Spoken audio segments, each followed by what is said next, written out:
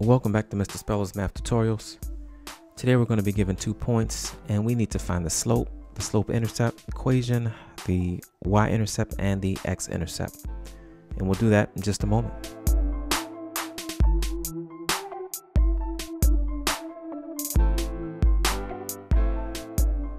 All right, let's go ahead and get started.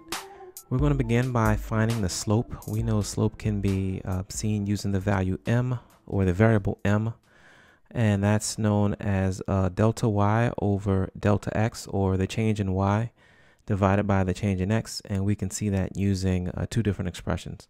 One expression is going to be y sub 1 minus y sub 2 over x sub 1 minus x sub 2 and let's go ahead and label the the points that we have here. I'm going to call point 1 it's going to have subscripts of 1 and the second point is going to have subscripts of 2. So let's make this first uh, substitution. y sub 1 is a 5 minus uh, y sub 2, which is a negative 3. We'll place that in parentheses. Over um, x sub x sub 1, which is 0. And we're going to subtract uh, x sub 2, which is a negative 2, and place that in parentheses. So here we have a double negative. So that's going to turn into a 5 plus 3 and in our denominator again double negative so that's going to turn into uh, 0 plus 2 so here we have 5 plus 3 to give us 8 and 0 plus 2 to give us 2 and 8 half simplifies down to 4 so here we found the slope to be 4 the other expression that we could use is we could say that it's uh, y sub 2 minus y sub 1 over x sub 2 minus x sub 1 and here, what we could do is, let's see, y sub 2 is going to be negative 3 minus um, y sub 1, which is going to be the 5. And in our denominator, x sub 2, which is negative 2, minus x sub 1, which is 0. So here we have a negative 3 minus 5 to give us a negative 8.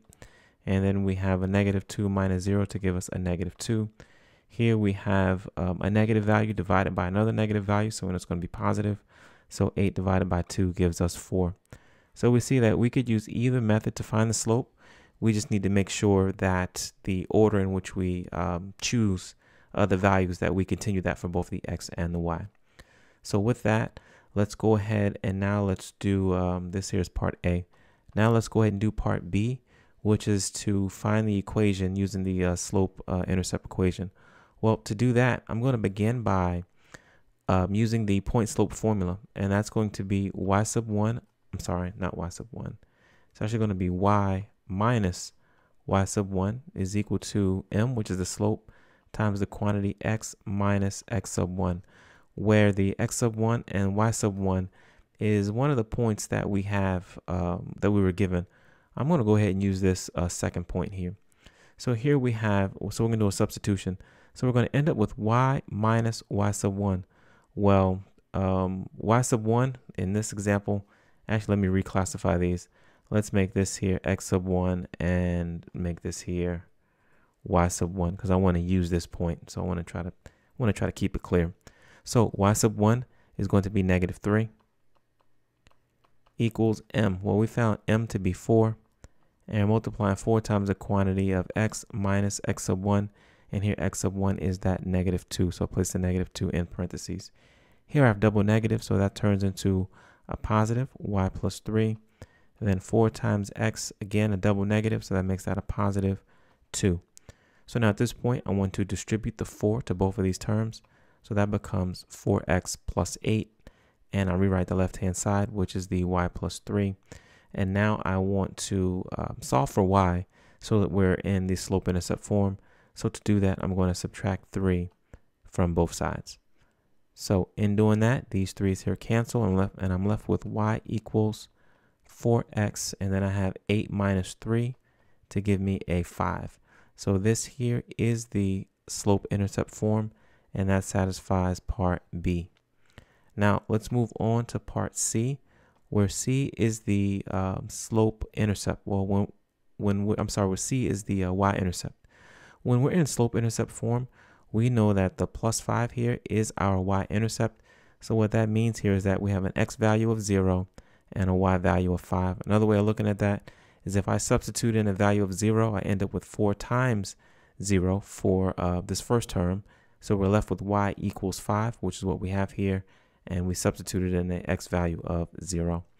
So now this so now let's move on to part D where we want to find the x-intercept. Well, to find the x-intercept, we're going to again go back here to our slope-intercept form, and that's y equals 4x plus 5. And this time I want to say that the y value is a 0, and now I need to solve for x. Well, to do that, I'm going to subtract 5 from both sides. So here I'm left with a negative 5 is equal to 4x. This side, everything here cancels. And now I'm going to divide both of these by 4. So in doing that, these 4's cancel, and I'm left with x is equal to this negative 5 fourths. Let's write this here. x is the negative 5 fourths. So if I were to write that as an ordered pair, I have an x value. Let's Again, let's move over. Well, you know, let's just scroll up. As the ordered pair, my x value is negative 5 fourths, and then my uh, y value is 0. And if I want to write this as a decimal equivalent, I'll do the long division. So here I want to know how many times does uh, 4 go into 4 go into 5. So 4 goes into 5 one time. So I have a 4. 5 minus 4 is 1. I bring down that 0. 4 goes into 10 two times. So 2 times 4 is 8. And then 10 minus 8 is 2. I bring down this other 0. And 4 goes into 20 uh, 5 times. So here we have a negative 1.25 and then 0. And this here again satisfies uh, D. So we could write this in either form. Now let's move on to Desmos so we can take a look at this particular uh, problem uh, graphically. So I've placed in the, the two points where we have the uh, 0, 5 and the um, negative 2, negative 3. These are those uh, initial points. Let's go ahead and place in the uh, y intercept, I'm, I'm, sorry, the slope intercept equation, and that there was uh, y equals 4x plus 5. And let's go ahead and turn these labels off. And what I want to do is let's click on here and we see that we see that we have the two points. Uh, one of these points is actually our y-intercept that we found to be 0, 5. We found our x-intercept here to be the uh, negative 1.25 or negative 1 and 25 hundredths. And we see that we have the second point that the line goes through. So here we see that uh, everything we've done uh, analytically, we can see it here graphically. All right, well, that sums up this tutorial. I hope that you found it uh, helpful. Please leave any comments um, and also please like and or share. And as always, thank you for watching.